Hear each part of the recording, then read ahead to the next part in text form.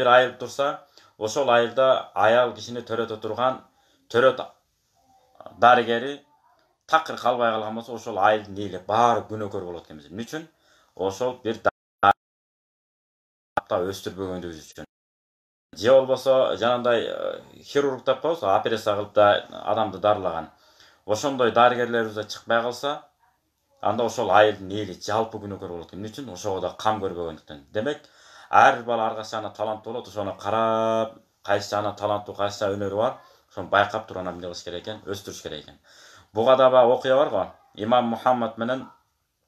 өгөй баласы имам шафи. Рахматулла алейх экөө бир жерде сүйлөшүп маектешип отурса тиги алыстан бир киши келаткан болот. Анан имам мухаммад айтат го бул неме жыгач уста экен десе имам шафи да жок бул темир экөө талашып талашып талашып анан жакын мейли анда келгенде сурайлы дейт келгенден кийин сурайт го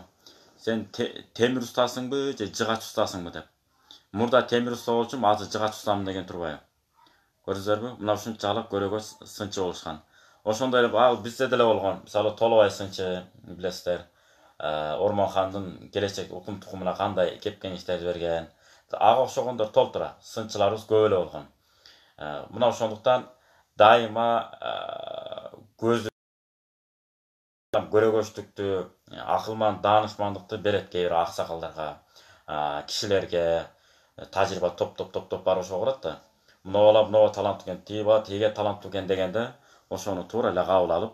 дагы байкап көрүп баланын да жүрөгүн угуп ошол жака эмне кылышыбыз керек экен түртүшүбүз керек экен. Мисалы бир балаңыз багбанчылык дыйканчылыкка аябай бекем тырышкан ошого кызыккан болсо аны сиз дарыгер кылам деп убара болбошуңуз керек. Же тескерисинче мен күчтүү дарыгер болом деп тырышып атса аны багбанчылыкка дыйканчылыкка түрткөндүн эч кандай кереги жок.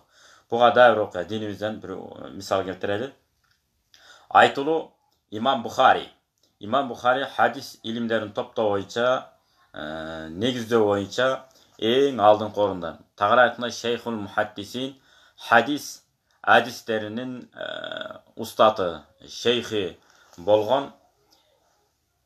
имам бухари имам маликке барат мен фиқ илиминен сабак алайын дедим эле дегенде имам малик ахлил фиқх сен менен алектене турган эмес сен тескерисинче хадис топтоп хадисти тескерисинче келечекте топтоштуруп бир китептерге топтоштуруп жазганга сен таланттуу бала экенсиң сен хадис илими менен алектенбейсиңби деп ким имам малик рахматуллахи алейхи ошентип сунуш берет багыт берет ошондо анан имам бухари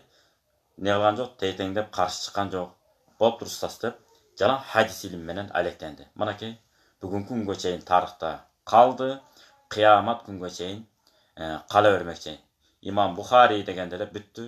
баарыбыз эмне түшүнөбүз сахих хадисти риваят кылды деп түшүнөбүз ал эми адабул муфрат деген китеби бар заиф хадистерди да топтогон буга амал кылса болот деген мааниде бүгүнкү күндө кээ бирлери ал хадис заиф экен да деп амал кылгысы келбей жеңил санагандар да бар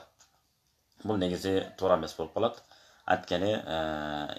амал кылуу дурус болбогондо имам бухари рахматулла алейх эмне кылмак ал хадистерди адабул муфрат аттуу китебин топтоп чыгармак эмес